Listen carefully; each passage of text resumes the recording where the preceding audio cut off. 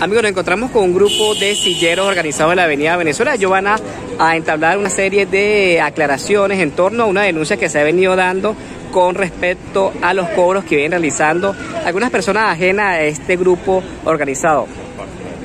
Buenos días, por acá nos encontramos el grupo de silleros Movistar, la cual queremos aclarar la situación que hay eh, silleros que trabajan de lado afuera que no pertenecen a esta organización, están cobrando precios eh, exagerado.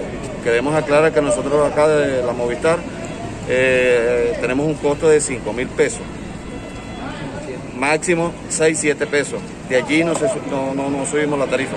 Entonces queremos que por favor quede aclarado esa situación y estamos aquí a su orden para llevarlos hasta allá, hasta el otro lado y bueno, complacerle su deseo. Todos ustedes están debidamente identificados por Todos estamos identificados con el nombre, el logotipo de la Movistar camisa verde con suéter negro.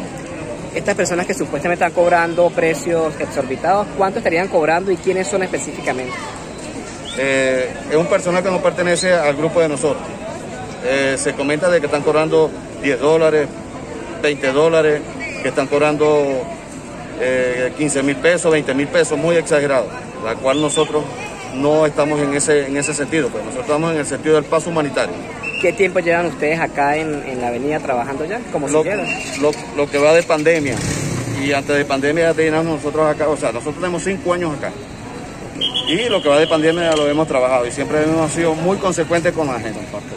Bien amigos, son las declaraciones de este grupo de silleros que se encuentran hoy acá aclarando esta situación en torno a unos, algunos grupos ajenos a su organización que se encuentran cobrando precios exorbitados en torno al servicio que prestan en silla de ruedas hacia el vecino país. Reportó para la Nación Jonathan Maldonado.